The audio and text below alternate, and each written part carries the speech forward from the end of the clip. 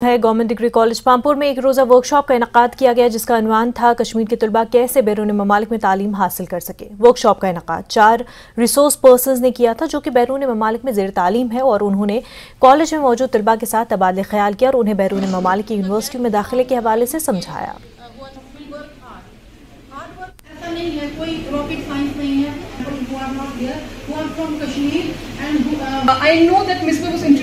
Organisation का हिस्सा हूँ जिसका नाम है प्रोजेक्ट एडू एक्सेस और हम क्या करते हैं कि जो भी स्टूडेंट्स हैं कश्मीर में हम उनको हेल्प करते हैं ताकि वो अपनी एप्लीकेशन बना सकें for study abroad and for scholarship so that they are able to fund जो भी वो uh, पढ़ना चाहते हैं बाहर। तो उसमें हम उनको सपोर्ट करते हैं।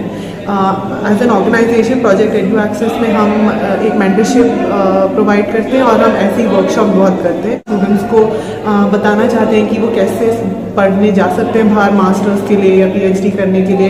कैसे की अपॉर्चुनिटीज़ हैं बाहर? वो उनको एप्लीकेशन कैसे बनाना है? सीवी कैसे बनाना है? उनको स्टेटमेंट ऑफ़ पर्पस जो लिखना है, वो कैसे करना है?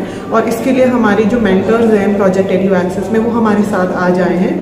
तीन स्कॉलर्स को बुलाया, जो ऑलरेडी ऑक्सफर्ड में अपना पीएचडी कर रहे हैं डबलिन यूनिवर्सिटी में अपना पीएचडी कर रहे हैं, और एक स्कॉलर मिलान यूनिवर्सिटी में पीएचडी कर रहे हैं।